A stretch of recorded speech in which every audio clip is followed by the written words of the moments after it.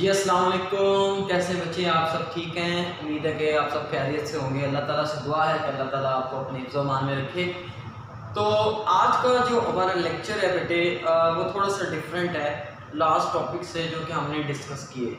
Last time हमारी discussion चल रही थी अबाउट चैप्टर नंबर सेवन और चैप्टर नंबर सेवन के अंदर हम पढ़ रहे थे क्रैकिंग एंड रिफॉर्मिंग अच्छा उसके बाद टॉपिक तो हमारे पास जो आज स्टार्ट करना चाहिए था, वो था क्लासिफिकेशन ऑफ़ ऑर्गेनिक कंपाउंड्स और उसके बाद फंक्शनल ग्रुप फिर हाइब्रिडाइजेशन और फिर आइसोमेरिज्म लेकिन बेटे क्लासिफिकेशन और आइसोमेरिज्म को आप तब तक नहीं समझ सकते, तब तक आप नहीं सॉल्व कर सकते, जब तक आप नॉमन क्लेचर न सीख। लो नॉमन क्लेचर मतलब ऑर्गेनिक कंपाउंड्स का नाम रखना, ठीक है? ऑर्गेनिक कंपाउंड्स का जब तक आप नाम रखना नहीं सीखेंगे तब तक बेटे, ये पॉसिबल नहीं है कि आप वो कॉन्सेप्ट को अच्छे तरह से डाइजेस्ट कर सको, समझ सको, ठीक है? तो आज हमने स्टार्ट करना है बेटे चैप्टर नंबर एट का पहला टॉपिक है दैट इज़ नॉमन ठीक है? और नॉमन पहले किस तरह से किया जाता था? नाम मतलब पहले किस तरह से रखे जाते थे ऑर्गेनिक कंपाउंड्स के? और अब किस तरह से ऑर्गेनिक कंपाउंड्स के नेम रखे जाते हैं? आइए देखते हैं। चलिए स्टार्ट करते हैं। तो बेटा नोमन क्लेचर का लफ्जी मतलब होता है नेम रखना, किसी भी चीज़ का नाम रखना ओके तो पुराने ज़माने के अंदर बेटे, कोई भी हमारे पास ऑर्गेनिक कंपाउंड जब डिस्कवर होता था तो उसका नाम जो रखा जाता था, ज़्यादातर बेटे वो जो नेम्स होते थे, वो हमारे पास होते थे कॉमन नेम तो कॉमन नेम रखे जाते थे, जिन्हें हम ट्रिवियल नेम भी कहते हैं. अब ऑर्गेनिक कंपाउंड्स के कॉमन नेम किस तरह से रखे जाते थे? बेटे, जो कॉमन नेम होते थे, वो होते थे on the basis of their origin कि ऑर्गेनिक कंपाउंड जो है, वो कहाँ से ड्राइव किया गया है? उसका ओरिजिन क्या है? या बेटे ऑर्गेनिक कंपाउंड का नाम वही रख दिया जाता था जिसने उसको डिस्कवर किया। उसी के नाम पे मतलब on the basis of discover कि जिसने डिस्कवर किया, उसी के आप नाम रखते हैं। या बेटे हम किसी वर्ड से, किसी दूसरी लैंग्वेज के वर्ड से कोई ड्राइव करते थे, ठीक है? या मतलब ओरिजिन या सोर्स एक ही बात होगी। तो मतलब हमारे पास जो चीज़ या कोई ऑर्गेनिक कंपाउंड जहाँ से मिलता था, जो उसे डिस्कवर करता था, हम उसकी बेस के ऊपर उसका नाम रख देते थे। पुराने ज़माने में बेटे ऐसे ही किया जाता था। इसकी एग्जांपल क्या हो सकती है बेटे? इसकी एग्जांपल मैं आपको दे देता हूँ। फॉर एग्ज़ाम्पल बेटे, हमारे पास एक गैस है और उस गैस का नाम है हमारे पास मीथेन। मीथेन का बेटे, जो पुराना नाम है, वो हमारे पास था मार्श गैस। का, क्या कहा जाता है इसको? Marsh gas. मार्श गैस बेटे, इस वजह से कहा जाता था क्योंकि ये हमारे पास मार्शी प्लेसेस पे मिलती थी। बिकॉज़ इसको पहली दफ़ा जब फाउंड किया गया मतलब पता किया गया कि ये कहाँ पे है डिस्कवर किया गया तो मीथेन गैस मार्शी प्लेसेस पे पाई जाती है that's why its name is marsh gas marshy places बेटे, ऐसी जगह होती हैं फॉर एग्जांपल जो चौहड़ या तालाब वगैरह होते हैं, ठीक है? पंजाबी में जिसे छप्पड़ भी आप कह देते हैं, ठीक है? तो जोहड़ या तालाब बेटे, जो हमारे पास होता है, जो बड़ा गंदा सा होता है, उसके अंदर गारा होता है, पता नहीं क्या क्या ठीक है तो वहाँ पे हमारे पास उन जगहों को हम बोलते हैं मार्शी प्लेसेस उन जगह पे बहुत सारी गैसेस प्रोड्यूस होती हैं। तो वहाँ पे क्योंकि ये गैस पाई जाती थी तो हमने on the basis of their origin के वो कहाँ पे पाई जाती है, हमने इसका नाम रख दिया था मार्श गैस ठीक है तो ओरिजिन या सोर्स की बेस पे हमने इसका नाम रख दिया मार्श गैस ठीक है, और बेटे क्या हो सकता है? फॉर एग्ज़ाम्पल एक और हमारे पास बेटे एसिड है, और उस एसिड का नाम है हमारे पास बारबीट्यूरिक एसिड। तो इसका नाम कैसे रखा गया? बेटे इसका नाम रखा गया एक एक शख्स के नाम पे और उसका नाम था बार बारा ठीक है? तो बार बारबरा कह लें या बार बारा कह लें बेटे बारबरा के नाम से इसका नाम रखा गया बारबीट्यूरिक एसिड। ठीक है? तो डिस्कवर का नेम या किसी और आ, के नेम की बेस पे आपने इसका नाम रख दिया। मतलब कोई स्पेसिफिक मेथड नहीं है, कोई मेथडोलॉजी नहीं है जिसको आप फॉलो करके नाम रखें, ठीक है? एक और मैं आपको एग्जांपल दे देता हूँ। फॉर एग्जांपल बेटे, आपके पास एक एसिड है। That is called as acetic acid acetic acid कहते हैं बेटे सिरके को। इसका जो सोल्यूशन होता है उसको सिरका कहते हैं। अब एसिटिक एसिड का जो बेटे नेम है, वो ड्राइव किया गया है एक वर्ड से, जिसका मतलब है सॉरी जिसका नाम जो है एसिटम ठीक है? एसिटम बेटे हमारे पास एक वर्ड है और ये लैटिन वर्ड है, इसका मतलब होता है हमारे पास विनीगर विनीगर मतलब सिरका. तो लैटिन वर्ड से ही इस तरीके से ड्राइव किया गया है वर्ड ठीक है? मतलब आप किसी वर्ड से कुछ ड्राइव करके उसका नाम रख दो। आप कहाँ से वो ऑप्टेन किया गया है on the basis their origin आप नाम रख। दो या बेटे आप जो जिसने डिस्कवर किया उसके बेस पे उसका नाम रख दो। तो पुराने ज़माने के अंदर जो ऑर्गेनिक कंपाउंड्स थे, उनके नेम इसी तरह से रखे जाते थे। फॉर एग्जांपल एक और मेरे पास एग्जांपल जेन में आ रही है कि फॉर्मिक एसिड आंट्स जो चूंटी होती है, उससे पहली दफ़ा निकाला गया था, क्योंकि वो चूंटी से निकाला गया था तो उसका नाम रख दिया गया फॉर्मिक एसिड। फॉर्मिक क्यों कहा जाता है उसको? क्योंकि फॉर्मिक का मतलब होता है किसी और ज़ुबान का लफ्ज़ है इसका मतलब होता है आंट्स चूंटी ठीक है? तो इस वजह से इसका नाम रख दिया गया फॉर्मिक एसिड। तो पुराने ज़माने में बेटे इस तरह से नाम रखे जाते थे मतलब कोई स्पेसिफिक मेथड नहीं था हर इलाके के अंदर डिफरेंट तरह के नाम थे। जैसा कि बेटे आप बायो में पढ़ते हैं कि पहले आ, एक चीज़ के कई कई नाम थे तो हमें नॉमन क्लेचर करने की ज़रूरत पेश आती है। जैसे बायो में ज़रूरत पेश आती है, बेटे वैसे ही हमें केमिस्ट्री में तो बहुत ज़्यादा ज़रूरत पेश आती है, क्योंकि हमने यहाँ पे मिलियंस ऑफ़ ऑर्गेनिक कंपाउंड्स को स्टडी करना होता है डिस्कस करना होता है, और उनमें थोड़ा सा फ़र्क भी रखना होता है। तो या तो बेटे इनका कॉमन नेम लिया जाता था। या एक और चीज़ की जाती थी। हमारे पास ग्रीक लैंग्वेज के अंदर कुछ वर्ड्स हैं, जो कि आप कह लें कि नंबर्स को शो करते हैं। और उनकी बेस पे नाम भी रखे जाते थे ऑर्गेनिक कंपाउंड्स के। फॉर एग्जांपल बेटे ऑर्गेनिक कंपाउंड्स के नाम रखे जाते थे। अगर फॉर एग्जांपल एक वर्ड है मैथ दूसरा वर्ड है एट तीसरा वर्ड है प्रोप चौथा वर्ड है ब्यूट इसी तरह से आगे बेटे चलता जाता है। एक वर्ड है हमारे पास पेंट उसके बाद वर्ड आ जाता है हमारे पास हैग्स उसके बाद वर्ड आ जाता है हमारे पास हैप्ट उसके बाद वर्ड आ जाता है हमारे पास ऑप्ट या ऑक्टा ऑक्ट और इसके बाद वर्ड आ जाता है बेटे नॉन ठीक है, इसके बाद वर्ड आ जाता है डेक अब ये ग्रीक लैंग्वेज के कुछ वर्ड्स हैं बेटे जो मैंने आपके सामने रखे हैं, ठीक है? अब हम इन वर्ड्स के अंदर थोड़ी बहुत चेंजिंग करके हम ऑर्गेनिक कंपाउंड्स के नेम भी रखते हैं। ठीक है?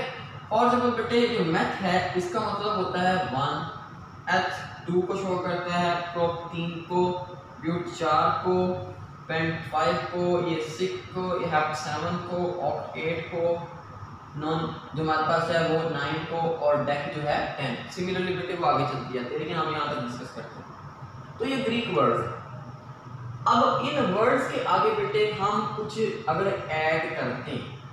ठीक है? फॉर एग्ज़ाम्पल इस वर्ड के आगे मैं कोई सुफिक्स ऐड कर दूँ। बेटे याद रखिएगा, यहाँ पे दो लफ्ज़ यूज़ होंगे। एक सुफिक्स और दूसरा जो लफ्ज़ होगा, वो हमारे पास होगा प्रीफिक्स सुफिक्स होता है ऐसा लफ्ज़ जो बाद में आए। ठीक है? प्रीफिक्स होता है ऐसा लफ्ज़ जो पहले आए। एग्ज़ाम्पल देता हूँ क्लियर हो जाएगा। फॉर एग्ज़ाम्पल बेटे, आपके पास है मेडिकल मेडिकल एक वर्ड है। आप उससे पहले प्री लगा दो।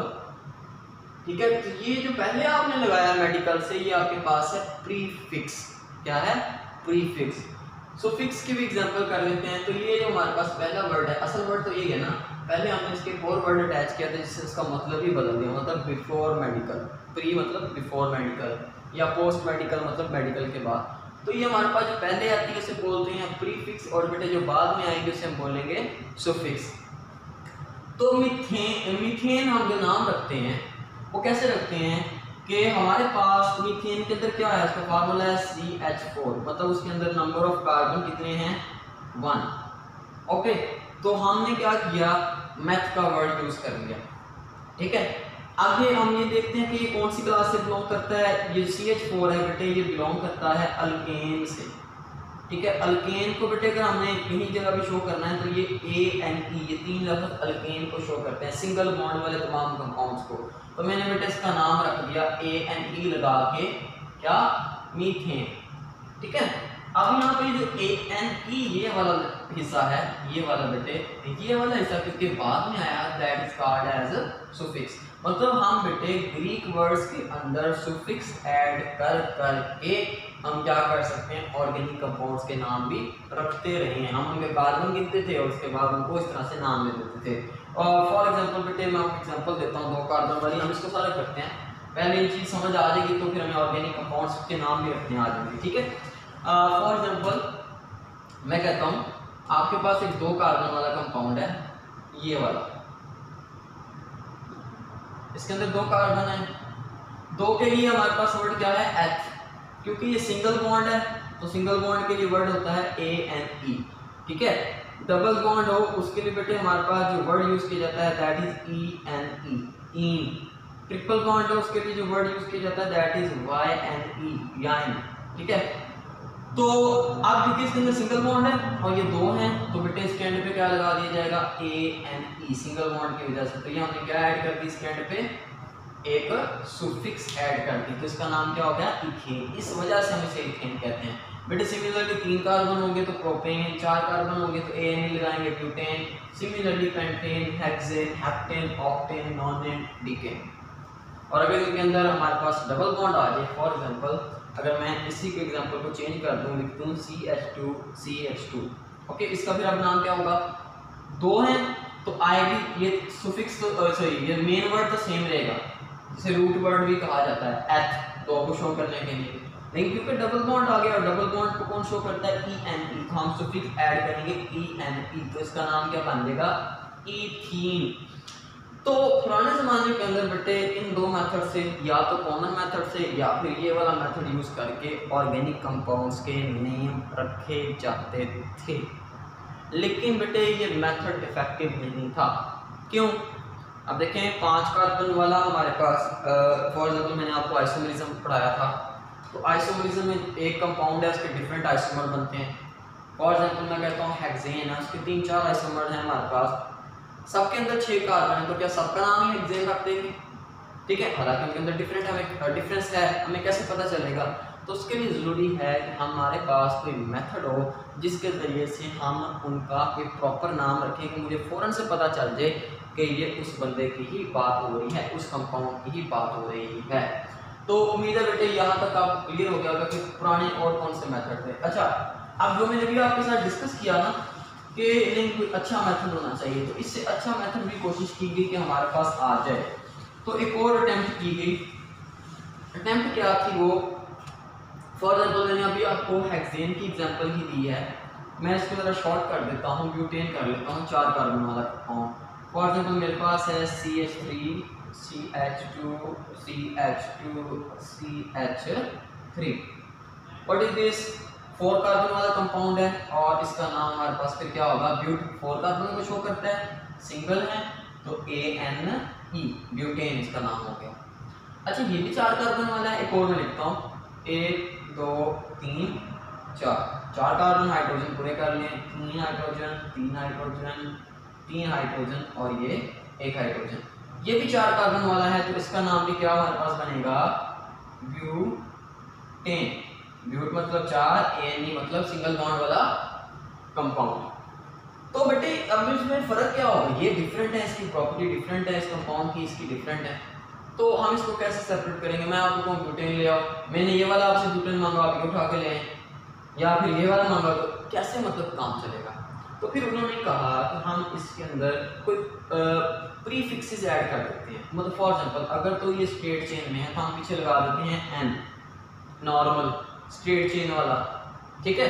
और अगर हमारे पास सेकंड कार्बन पे, या सिंपल कह लें कि स्ट्रेट चेन के अलावा कोई ब्रांच लग जाए स्ट्रेट चेन के अलावा जो भी चीज़ लगी होती है, कोई भी ग्रुप लगा हो तो उसे ब्रांच बोलते हैं। तो कहते हैं उसके लिए वर्ड यूज़ कर लें फॉर एग्ज़ाम्पल आइसो मतलब ये इसका नाम हो जाएगा एन ब्यूटेन इसका नाम क्या हो जाएगा? आइसो ब्यूटेन आइसो ब्यूटेन अच्छा और क्या हो सकता है हमारे पास? तो एक और एग्जांपल से हम समझ लेते हैं इसको कि, और इसको कैसे मतलब हम नाम रख सकते हैं। ये भी आपको यूज़ होता है और एंटी टेस्ट में भी ये इसके क्वेश्चन आ जाते हैं। तो एन नॉर्मल चेन के लिए आइसो ब्रांच चेन के लिए, ठीक है? अब इसमें एक और कंडीशन है। मैं पेंटेन को आपके सामने डिस्कस करता हूँ। C H three C H two C H two C H two C H three पाँच कार्बन वाला तो आएगा पेंट सिंगल बॉन्ड है तो आगे आ जाएगा हमारे पास ए एन ई तो नाम हो गया इसका पेंटेन स्ट्रेट चेन में है तो उसको नाम दे दिया एन पेंटेन अभी हमने लास्ट टाइम डिस्कस किया। अब अभी मैं इसको चेंज कर देता हूँ। मैं इसके एक आइसोमर बना देता हूँ। मैं फॉर एग्ज़ाम्पल यहाँ पे कार्बन लगा देता हूँ। तो ये मेरे पास हो गया कुछ इस तरह से। हाइड्रोजन पूरे कर लें। कार्बन हमेशा चार बॉन्ड बनाएगा ये ध्यान रखिए अच्छा तो ये भी एक, दो, तीन, चार, पाँच पाँच कार्बन पाँच कार्बन वाला मतलब पेंट और सिंगल बॉन्ड है तो पेंटेन ओके अब क्योंकि बेटे इसके ब्रांच आ गई है तो इसका नाम फिर क्या हो जाएगा?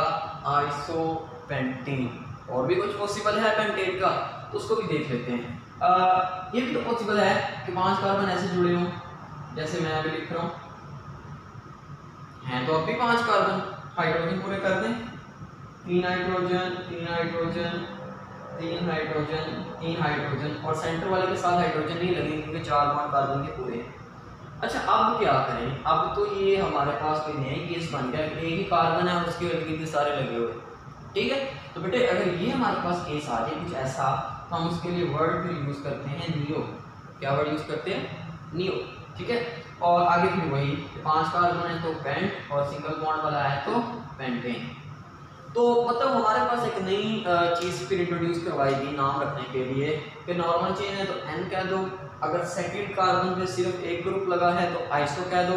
और अगर हमारे पास ज़्यादा ग्रुप लगे हैं या कुछ ऐसी कंडीशन आ जाती है तो उसके लिए वर्ड यूज़ कर लो। नियो पेंटेन पाँच कार्बन वाला है, लेकिन ज़्यादा ब्रांचेज हैं तो हमारे पास इसका नाम दे दिया नियो पेंटेन तो बेटे, या तो कॉमन नेम नहीं करते थे या फिर वो जो मैंने मेथड बताया, आपको ग्रीक वर्ड्स मैथ एथप्रोहेक्स इसको यूज़ किया जाता था। और उसमें फर्दर अगर हम हमारे पास कॉम्प्लेक्सिटी आती थी तो हम वर्ड यूज़ कर लेते थे एन आइसो और नियो लेकिन इतना ही मेहनत करने के बावजूद भी हमारे पास कोई भी मतलब बहुत सारे ऑर्गेनिक कंपाउंड्स हैं जिनके हम नाम रख ही नहीं पाते थे। ये बहुत कम ऑर्गेनिक कंपाउंड्स पे ये वाला सिस्टम अप्लाई होता है। तो अब फिर क्या किया जाए? अब फिर नया कोई सिस्टम इंट्रोड्यूस होना चाहिए। तो नया बेटे सिस्टम फिर इंट्रोड्यूस करवाया गया। बहुत सारी हमारे पास केमिस्ट्री की यूनियंस थी, बहुत सारे केमिस्ट थे केमिस्ट्री के लोग थे जिन्होंने मतलब कोशिश की कि हम कोई मेथड निकालें कि, हम ये जो नेमिंग का मसला है ना नॉमन का मसला ऑर्गेनिक कंपाउंड्स का, इनको हम सॉल्व करें। तो बेटे, इस बारे में पहली अटैम्प्ट हुई हमारे पास, जो पहले अटैम्प्ट इस केस में हमारे पास की गई, वो हमारे पास एटीन एटी नाइन अठारह सौ 1889 के अंदर बेटे हमारे पास पहली अटैम्प्ट की गई, कि जब हमारे पास इंटरनेशनल कांग्रेस ऑफ़ केमिस्ट्री ने इंटरनेशनल केमिस्ट्री कांग्रेस ने कोशिश की कि वो हमारे पास इसको नेमिंग के कोई रूल्स लाए, ठीक है? अच्छा नेमिंग के रूल बेटे आए 1892 के अंदर। पहली दफ़ा जो नेवी के रखने का कॉन्सेप्ट या उसके ऊपर वर्किंग स्टार्ट हुई, वो 1892 के अंदर स्टार्ट हुई, जब हमारे पास जिनेवा के अंदर, ठीक है, एक कन्वेंशन था, उसके अंदर इसके रूल्स पेश किए गए, लेकिन वो इनकम्प्लीट थे, वो पूरे नहीं थे। उसके बाद बेटे, फिर हमारे पास 1930 के अंदर IUC international union of chemist ने कुछ रूल्स डिफाइन किए। ठीक है? और उन रूल्स को हम बोल देते थे लीच रूल्स। ठीक है? लेकिन फिर भी अभी कुछ भी पूरा नहीं था, कमी थी तो फिर बेटे हमारे पास आई international union of pure and applied chemistry international union of pure and applied chemistry तो उसने हमारे पास बेटे पहली दफ़ा 1947 के अंदर वेल डिफाइंड और कंप्लीट रूल्स प्रोवाइड किए। ठीक है? और हमने आयु पैक में जो रूल्स दिए थे, उसी के मुताबिक आज हम नेमिंग करते हैं, नाम रखते हैं ऑर्गेनिक कंपाउंड्स का और हम वही सीखने जा भी रहे हैं इस चैप्टर के अंदर। लेकिन बेटे, इसका जो अपडेट होते रहते हैं रूल्स नए रूल्स आते रहते हैं जब कोई नई चीज़ आती है हमारे पास, जो लास्ट आपके बुक के मुताबिक अपडेट हुई है वो 1979 के अंदर हमारे पास हुई है। और हम जो रूल डिस्कस करने जा रहे हैं वो 1979 से जो हमारे पास ऑनवर्ड चीज़ें आई हैं, हम उन्हीं के रूल्स डिस्कस करने जा रहे हैं। तो बेटे, हमारे पास दो तीन तरह के नेम हैं। कॉमन नेम कह लें आप इसे, ठीक है? जो हम इन मेथड्स को फॉलो करते हुए रखते हैं। और आज हम डिस्कस करने जा रहे हैं जो हमारा मेन टॉपिक है, ये सिर्फ़ आपके लिए कहने समझने के लिए है कि आइसो किसको बोलना है न्यू किसको बोलना है, आपको एन किसको बोलना है, और आपके जहन में ये सवाल होगा कि ब्यूटेन पेंटेन ये आया कहाँ से? बस, ठीक है? तो इसको अपने अच्छे से क्लियर कर लेना है तो हमारा जो मेन टॉपिक है बेटे, वो असल में है आयुपैक नेम्स तो मैं इसके लिए वापस यूज़ करूँगा आयुपैक नेम मतलब जो international union of pure and applied chemistry ने हमें नेम दिए। तो कॉमन नेम आजकल हम नहीं रखते। हम कौन से नेम रखते हैं? हम आजकल इंटरनेशनल यूनियन ने नेम्स दिए हैं, हम वो वाले नेम्स ही रखते हैं। तो चलिए उसे भी स्टार्ट कर लेते हैं जल्दी से। अभी थोड़ा सा इंट्रोडक्शन टाइप है। उसके बाद हम रूल स्टार्ट करते हैं कि बेसिकली रूल्स हैं क्या और हमें वो कहते क्या हैं। तो जो नॉमन क्लेचर है बेटे, वो है आई आयुपैक इसमें आगे और भी बहुत सारे नॉमन क्लेचर हैं एजी सिस्टम और भी बहुत सारे हैं, लेकिन आपने ये वाला सीखा आयुपैक आयुपैक मीनिंग से पहले आपको कुछ छोटी छोटी चीज़ें क्लियर होनी चाहिए। मुझे उम्मीद है कि आपको आती होंगी।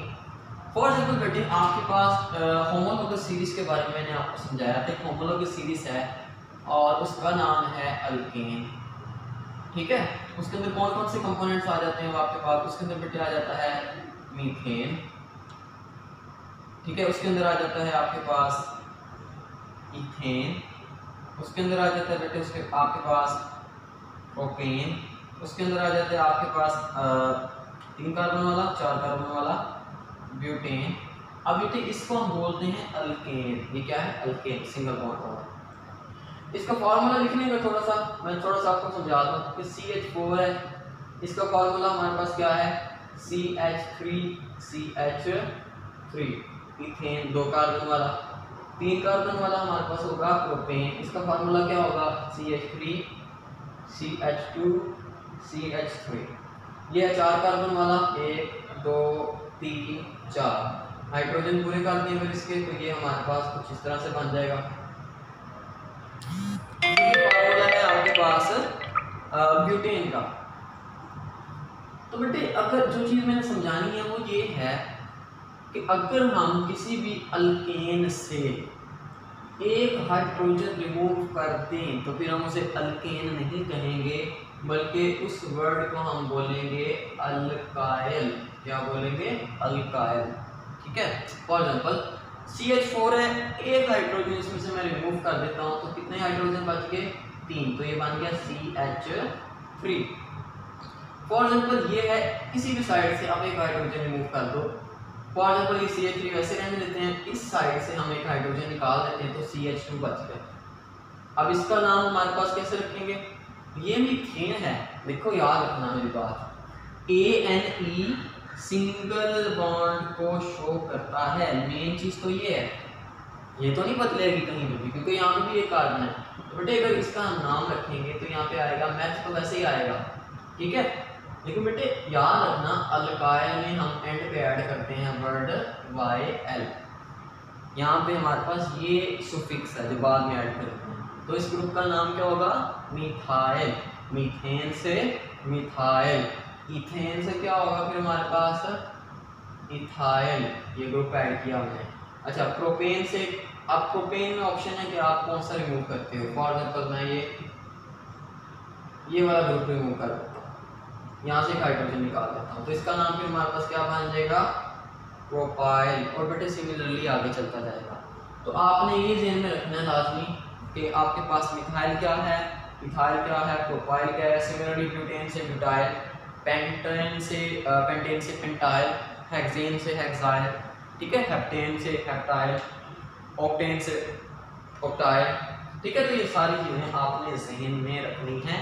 फिर ही हम नॉमन को कर सकते हैं। इज़ इट क्लियर उम्मीद है कि आपको ये क्लियर हो गया होगा। बेटा, सबसे पहले जो हम नॉमन स्टार्ट करेंगे वो हम स्टार्ट करेंगे अल्केन्स का। मतलब ऐसे कंपाउंड्स का, आपको पता है अल्केन ऐसे कंपाउंड्स होते हैं ऑर्गेनिक जिनके अंदर हमारे पास कार्बन और कार्बन के दरमियान सिंगल बॉन्ड प्रेजेंट होता है। तो ऐसे कंपाउंड्स का नॉमन स्टार्ट करने जा रहे हैं, जिसमें कार्बन और कार्बन के दरमियान सिंगल बॉन्ड है। तो उसके कुछ रूल्स हैं। तो बड़े तहमुल के साथ, गौर के साथ ज़रा फोकस करके इसको सुनिएगा। तो बेटे रूल नंबर वन किसी भी कंपाउंड का नेम अगर आप रखना चाहते हैं, लिख लें। अगर आप लिख लें, इसको फ़ायदा आता है बट रूल नंबर वन क्या कहता है? मैं सिर्फ़ पॉइंट्स की फॉर्म में लिखूँगा, आपकी बुक में पूरा पॉइंट वो बड़ा लंबा चौड़ा लिखा हुआ है। बेटे रूल नंबर वन कहता है select the longest chain of carbon.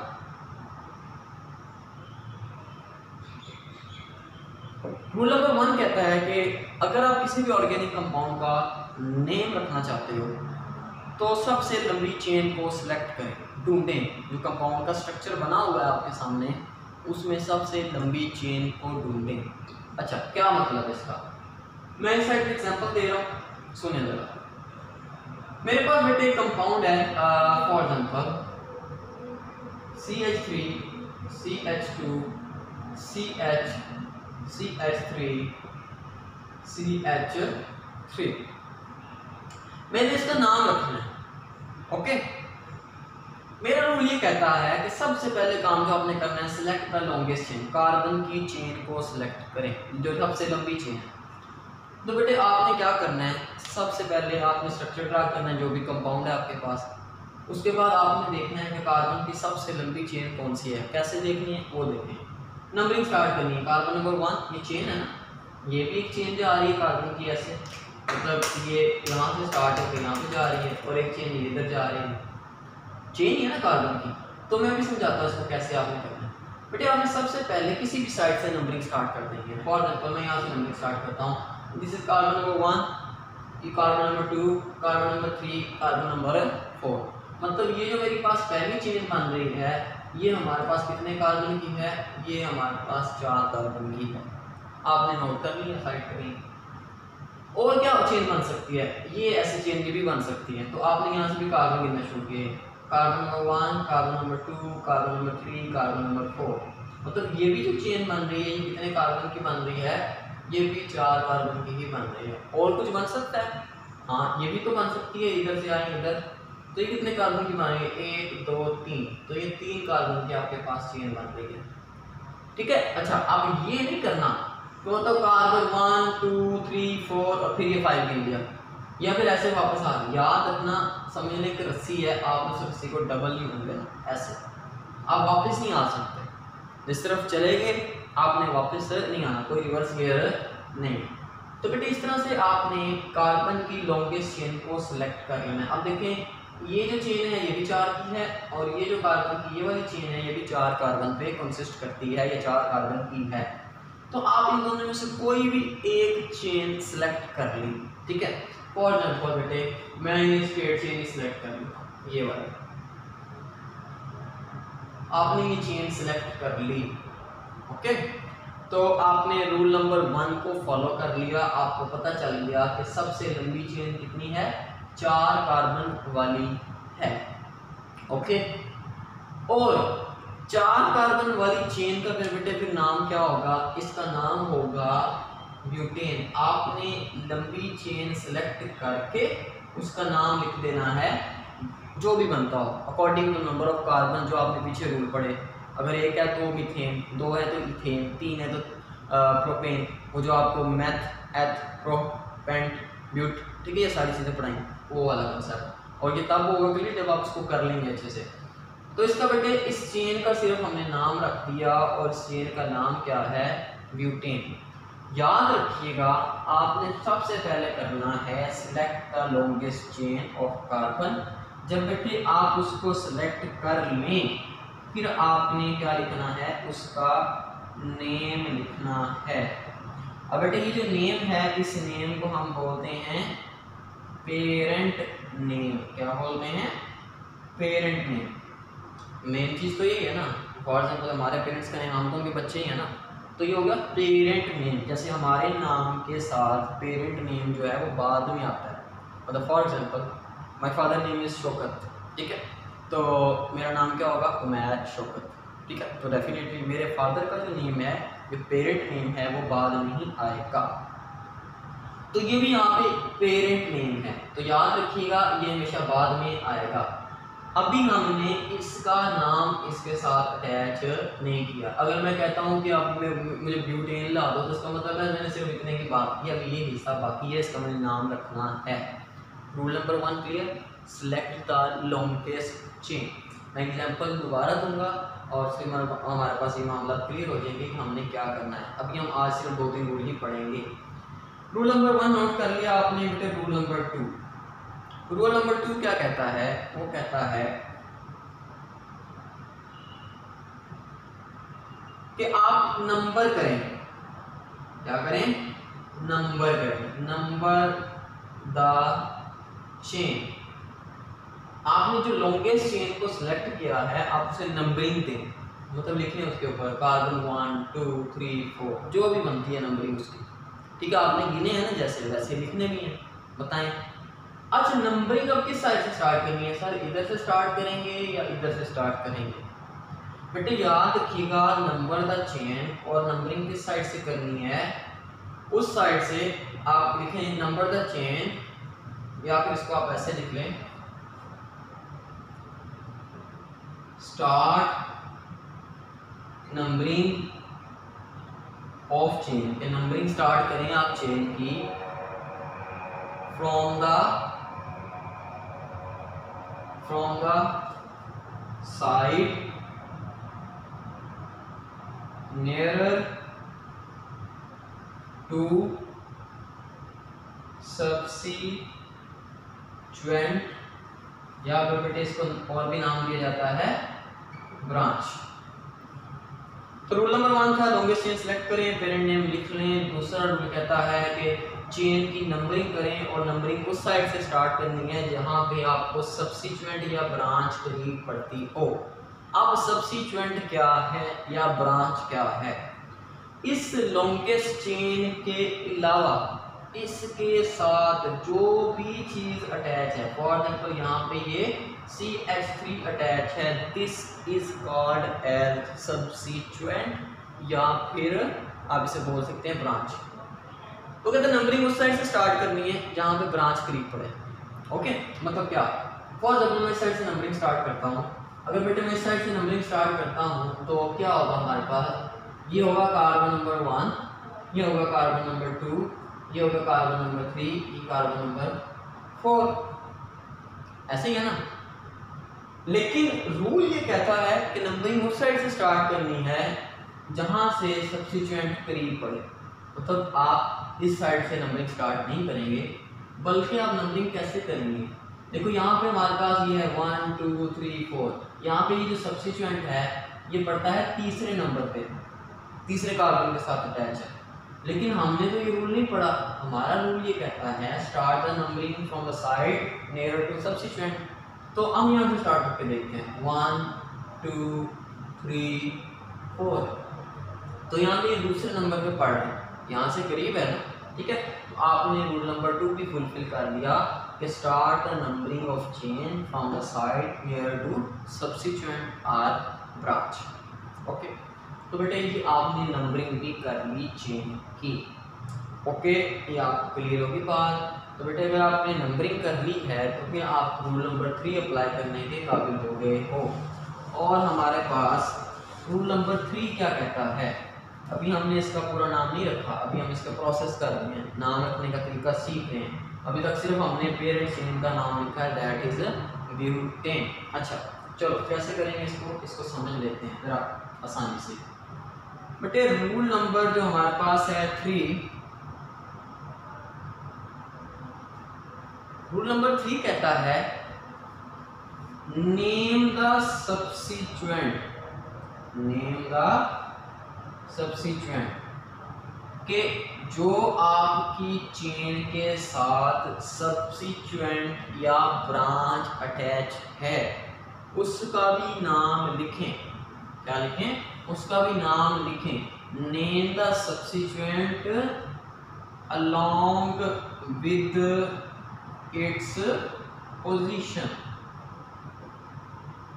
सिर्फ़ उस सब्सिक्वेंट का नाम नहीं लिखना, बल्कि उसकी पोजीशन के बारे में भी बताना है। मतलब कौन से कार्बन पे अटैच है? फॉर एग्जांपल इस सब्सिचुएंट का बेटे नाम जो हमारे पास बनता है, अभी हमने डिस्कस किया था एक कार्बन वाला है तो ये बनेगा मिथ से मिथाइल इसका नाम क्या हो गया? मिथाइल। आपने सिर्फ़ नाम नहीं लिखना, बल्कि नाम के साथ पीछे हाइफन लगा के हाइफन कहते हैं छोटे से डॉट है आपके पास, जो छोटी सी लाइन होती है। आपने उसके नाम के पीछे हाइफन लगा के उसकी पोजीशन को भी शो करना है कि वो कौन सी पोजीशन पे अटैच है, कौन से नंबर ऑफ़ कार्बन से अटैच है। अब देखो, ये जो सी है, ये इस कार्बन से अटैच है और इस कार्बन का नंबर क्या है? टू तो सी एच थ्री की पोजीशन क्या हुई? टू तो इसका नाम टोटल क्या बनेगा? टू मिथाइल तो रूल यही था ना हमारा name the substituent along with its position okay और बेटे, आपने ये कर लिया। ओके तो अब बेटे, इस कंपाउंड का नाम रेडी हो चुका है। आपने दोनों चीज़ें फाइंड कर ली। और याद रखिएगा जैसा कि अभी मैंने आपको एग्जांपल दी कि बच्चों का नाम पहले आता है और पेरेंट्स का नाम बाद में आता है बेटे। तो यहाँ पर भी हमारे पास यही सीन होगा कि मुझे पता चल गया था कि पेरेंट चेन क्या है? ब्यूटेन क्या है? ब्यूटेन अब मैंने इसका नाम रखा, जो कि इसके साइड पे लगा हुआ। पहले हम पेरेंट चेन का नाम रखते हैं, फिर साइड वाले का सब्सिट्यूएंट का। अब मुझे उसका नाम पता चल गया और वो क्या है? Two methyl. तो मैं लिखूँगा यहाँ पे टू मिथाइल। तो बेटे, इस कंपाउंड का जो पूरा नाम होगा, इसका जो पूरा नाम होगा, वो हमारे पास क्या होगा? Two methyl butane. अब देखो, इस नाम से हमें सब कुछ पता चल जाता है। हम स्ट्रक्चर नाम ही पता हो ब्यूटेन मतलब चार कार्बन की एक चेन है। टू मिथाइल, उसकी सेकंड पोजीशन पे मिथाइल लगा हुआ है। मतलब मैं ऊपर वाला स्ट्रक्चर मुझे याद ही नहीं है, कोई मसला नहीं। मैं नाम ये पढ़ता हूँ। टू मिथाइल ब्यूटेन ब्यूटेन है सबसे पहले पेरेंट को पकड़ना है और किसी को नहीं। आप एक, दो, तीन, चार, आपको पता है चार कार्बन लगेंगे। ब्यूटेन में चार कार्बन है। आपको उसके बाद पता है टू मिथाइल मतलब सेकंड पोजीशन पे एक मिथाइल ग्रुप लगा हुआ है।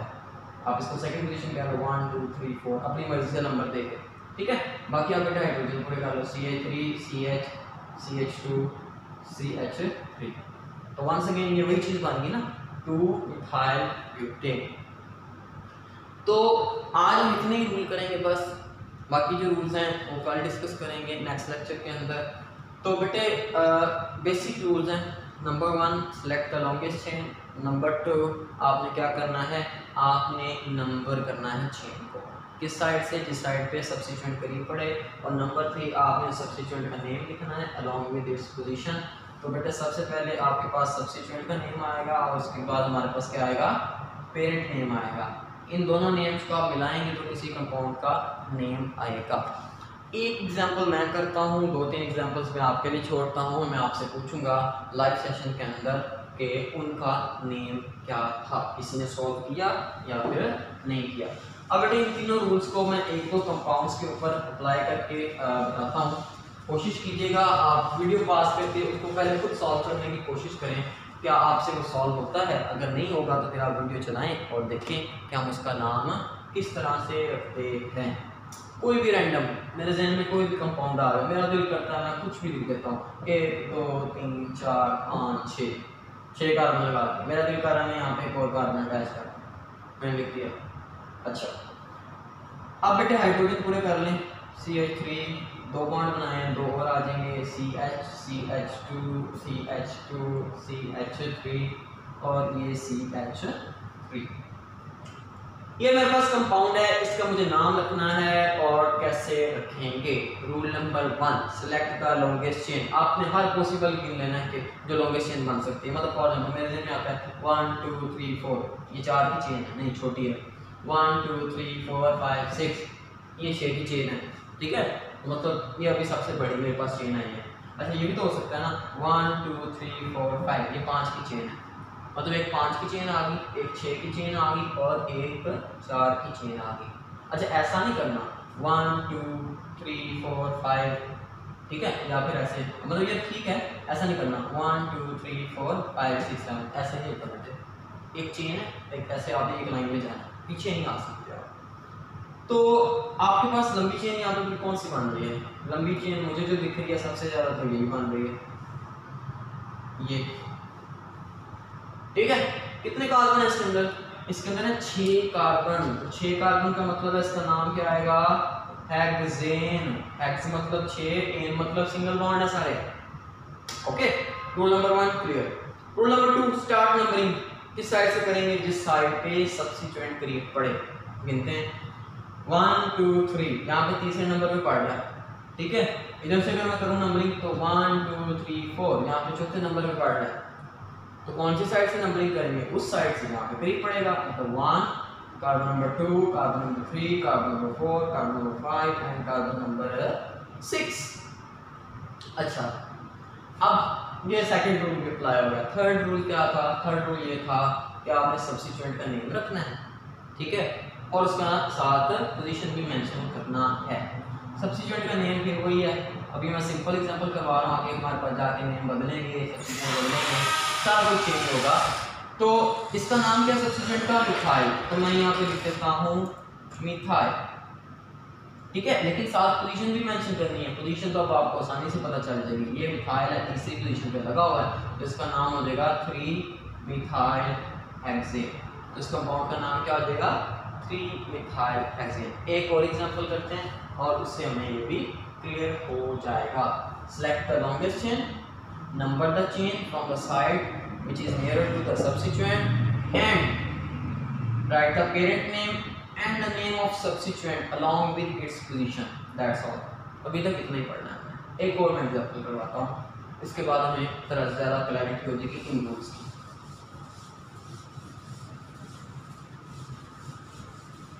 अब ये कंपाउंड बेटे मैंने कोई भी याद नहीं किया। मैं सिंपल कोई भी लिख रहा हूँ रैंडमली और मैं आपको नाम बता रहा हूँ। आप भी ऐसे ही करेंगे, इंशाल्लाह एक्सपर्ट हो जाएँगे थोड़े देर से खाते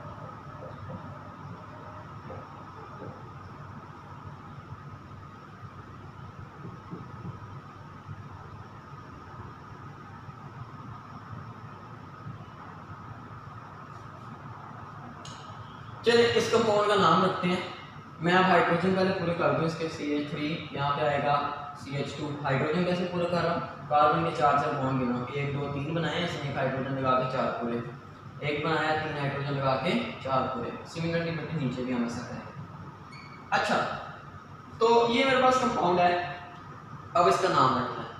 रूल नंबर वन क्या था रूल नंबर वन था सिलेक्ट द लॉन्गेस्ट चेन गिनो वन टू थ्री फोर चार की चेन है। नहीं, काम बन रहा। One two three four five पाँच की चेन है ओके और क्या पॉसिबिलिटी है? इधर को गिन लिया इधर को गिन लिया। इधर से गिन लें? वन टू थ्री फोर नहीं मतलब जो सबसे लंबी चेन आ रही है ये वाली आ रही है। वन टू थ्री फोर और ये फाइव तो मैंने सिलेक्ट कर ली सबसे लंबी चेन ये वाली है। मैंने सर्कल लगा लिया इसके इर्द या फिर ये आ, कोई कोई भी आप जैसे मर्ज़ी चाहे लाइन लगा के मेंशन कर लें। तो शुरू शुरू में आपको मेंशन करना पड़ेगा उसके बाद आपकी ये जुबानी खुद ऑटोमेटिकली याद होगा। तो बेटे सबसे लंबी चेन है हमारे पास ये वाली। कितने कार्बन की है? एक दो तीन चार और ये पाँच। तो पाँच कार्बन वाली चेन है। तो हमने पहला रूल पूरा किया और इसका नाम लिख दिया। पेरेंट नेम आ गया मेरे पास। दैट इज़ पेंटेन पाँच कार्बन वाली सिंगल बॉन्ड वाली चेन ओके अब second rule name the substituent from the side which is near to the oh, sorry name the chain from the side which is near to the substituent गिनते हैं। One two three तीसरी position पे पढ़ रहा है substituent okay इस side से गिन लें वन टू थ्री इधर भी तीसरी से पढ़ रहा है। मतलब जिस साइड से मर्ज़ी नेम कर लें। सेम साइड सेम पोजीशन पे पढ़ रहा है ना। तो आपका दिल करता है बेटे, यहाँ से नेम कर दें। आप यहाँ लिखते हैं this is carbon number one this carbon number two carbon number three carbon number four and this is carbon number five name हो गया? अच्छा जी। अब बच गया बेटे, ये substituent rule number three name the substituent along with its position substituent मैंने नहीं बदला, सिर्फ़ आपको समझा रहा हूँ इसलिए मैं इसको चेंज नहीं कर रहा। तो ये सब्सिट्यूएंट वंस अगेन मिथाइल है तो मैंने सब्सिट्यूएंट का नेम लिख दिया पीछे। मिथाइल। ओके अब क्या बच गई पोजीशन पोजीशन कौन सी है इसकी? तो इस कंपाउंड का नाम क्या होगा? थ्री मिथाइल पेंटिंग तो बेटे आपने ये बड़े अच्छे से समझ लेना है। ये रूल्स बस आप जेन में रखें। और मैं आपके लिए दो क्वेश्चन लिखता हूँ, आप उनको घर बैठ के सॉल्व कीजिएगा, आपसे हो जाएँगे इंशाल्लाह अगर आपने इन रूल्स को समझ लिया है।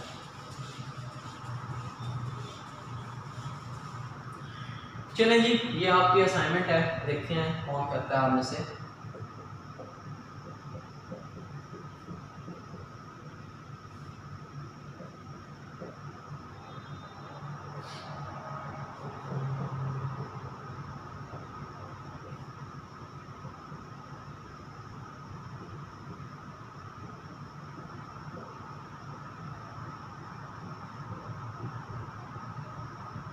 तो ये कंपाउंड है। आपने इसका नाम रखना ठीक है? तो देखते हैं बेटे ये कौन इस बच्चा इसका नाम रखेगा। और लेट्स सी अच्छा एक तो इसका नाम रखें। एक मैं आपको सिंपल सी एग्जांपल देता हूँ। देखते हैं इसका नाम कौन रखता है